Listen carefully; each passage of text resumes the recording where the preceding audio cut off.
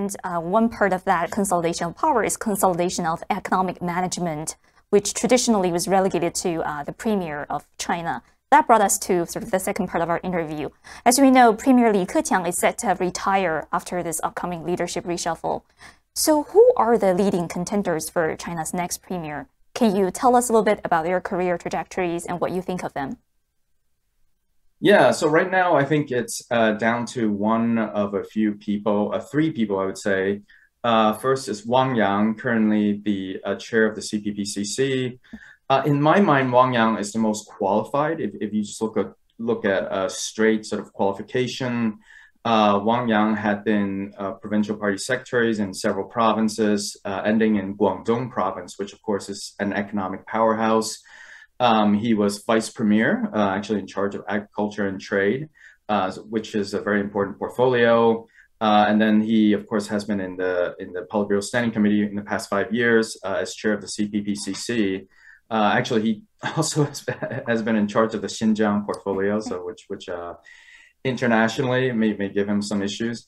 Uh, but nonetheless, prior to the CPPCC appointment, you know, he just had built up such a very impressive uh, administrative record never did anything uh, wrong. I mean, so in China, it's very important to not do anything that wrong. Um, so I think in my mind, he's the most qualified. He's he's also at an age where he can serve another five years in the mm-hmm. Politburo Standing Committee, so he could serve for five more years. Um, another candidate uh, is a younger person who also is very qualified, Hu Chunhua, who's currently in the Politburo, uh, but vice premier right now, and then previously also provincial party secretary in several provinces, uh, and then earlier than that in the youth league. Um, he's younger. Uh, if he were to become premier, he can serve for 10 years. Uh, so that uh, potentially will give policies uh, some stability in China. And then finally, um, Li Qiang, who uh, is the secretary of Shanghai. And of course, a lot of people are not so happy about his recent performance. Uh, but nonetheless, um, he has very close ties to Xi Jinping. So unlike Wang Yang or Hu Chunhua, he definitely comes out of Xi Jinping's faction. Uh, he was Xi Jinping's personal secretary um, back when Xi Jinping was in Zhejiang province. Uh, and he has since enjoyed just rapid series of promotion, culminating to his appointment uh, in the Politburo and as Shanghai Party Secretary. That, that is a very important job, of course, Shanghai being uh, the biggest city, uh, certainly economically biggest city in China. Um, and, and, you know, of course, his most recent performance may not be so satisfactory, but up to that point, I think he has been doing a good job uh, in the eyes of Xi Jinping. So, so I think he uh, also has a chance of becoming the next premier of China.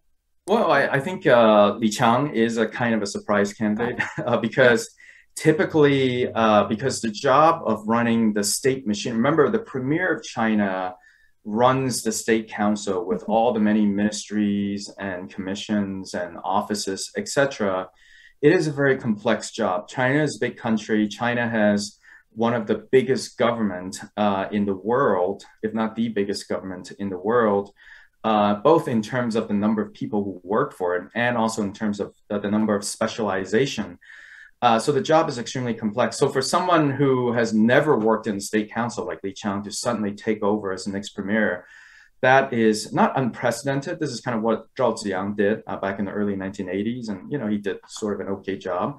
Um, but but it's certainly we haven't seen something like that for many many years. Um, so for him to take over as premier would be pretty unusual. If you enjoy our discussions here, I'm sure you would find value in our new powerful marketplace tool for investors, also called China Edge. It tracks, distills, and analyzes both Chinese language and English language materials about Chinese companies, business leaders, and government entities, and reviews the often hidden links between them.